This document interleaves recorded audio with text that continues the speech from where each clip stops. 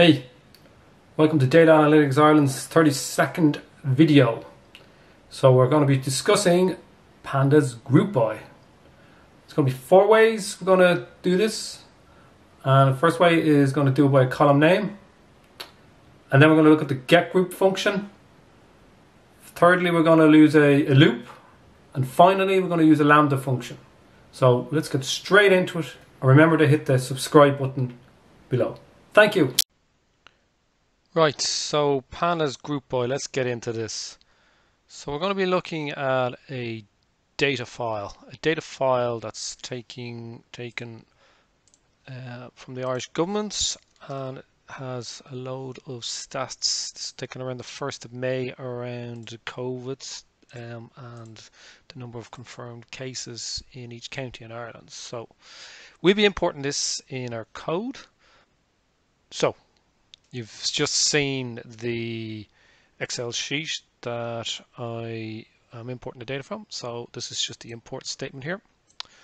So as described in the intro, we're going to look at four different ways just to group um, some data using pandas group by function. So start start off, we're going to actually just directly name the columns. All right. So what we're doing here is first of all, we're just creating a a variable. And then the group by these particular columns. Okay, so the output is actually very straightforward. So the output is going to be county name, population census 16 there, which was in the Excel sheet you just saw. And then finally, um, we're going to tell it to also bring in the confirmed COVID cases. And we're going to say dot max. Now, the reason we say dot max is in that data, that you just looked at here. There is data sets um, for, for there's 26 counties in the Republic of Ireland, so there's 26 data sets, but it's on a per day basis. So that's actually not the total. The total's down at the end. So when if you were to filter this by Carlow, here we'll just do this quickly here now. So we'll show what's expected. Okay, let's do this here now. All right, so if we go down here, so the highest value in Carlow, which is at the end, is 100. Okay. And if we go back here to Carlow, the value is 100.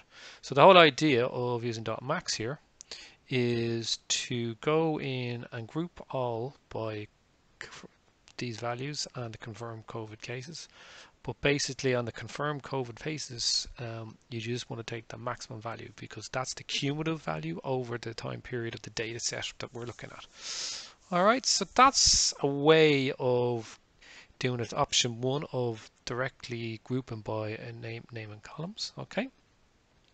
There's another way in option two, and the, the other way is basically again what we're going to say is create a variable called group by two. I'm just going to basically say it's going to be group one by one, but we're actually going to group by the county name. And the whole idea is that now you're basically splitting the data uh, by county name.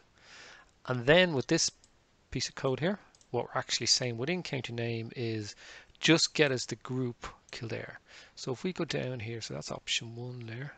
If we go down here, you can see that this logic here, um, it's basically, it's got the county name, um, it's basically got um, then it's basically said within county name it's saying okay the subset of county name we're going to using get group function we're going to say put us back to Kildare values. All right so there's your get group as a way of grouping by it's another option that if you want to group group your data you can use the function get group. Okay? So the option three is going to use a loop Okay, so we'll just start option three. So what happens here, we'll just take you through option three, through a loop, is we're basically going to just create this um, variable here again. Uh, we're just going to basically group it by, like we did above, the number of confirmed COVID cases, okay? So one thing to note when it does this is it immediately sorts it ascending. So um, when you see here, if we start looking at these values, it these are index values here and these are not sorted alphabetically. It's actually sorted here. So these go up in value ascending 68 100 118 138 150 and so on and so forth. So that's the first bit okay? And then what it does is in the loop, it basically goes to look, I haven't displayed it here, um, but it says for each group value and group of them, display the group. Okay, so essentially what it's saying here, let's just explain this code. For each group by value, which is this, okay, um, so if we were to just get rid of this to show you what the group value by value is. So in option three, there's 68. So the group by value is 68. And as you can see, 68 matches there. In the next one, it's 100. The 100 matches there. Next one is 118, and 118 matches there. Okay.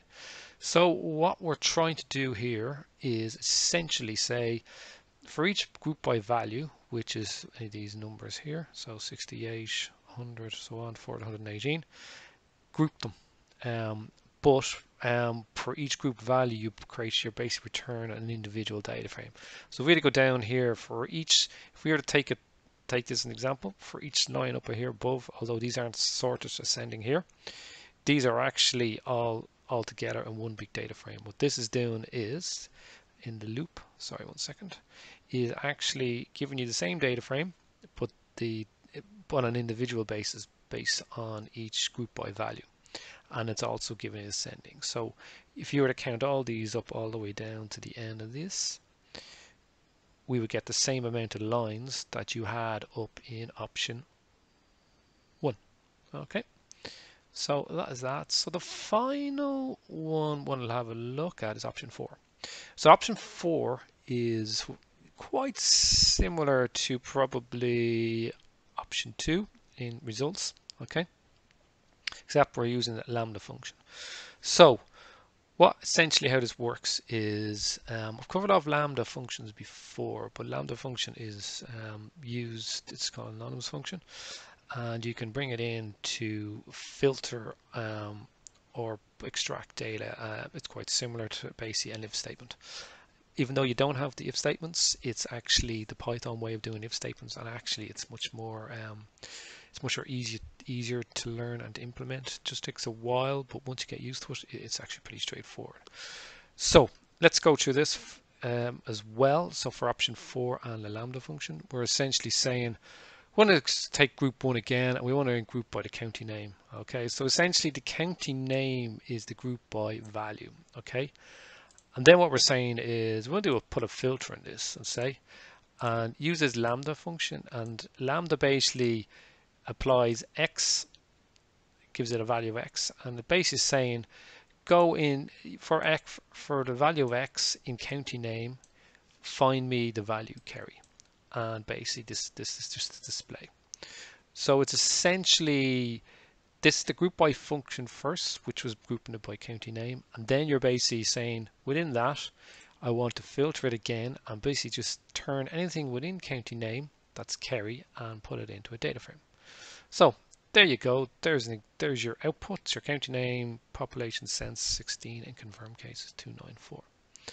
So that is an overview of how to do pandas group by.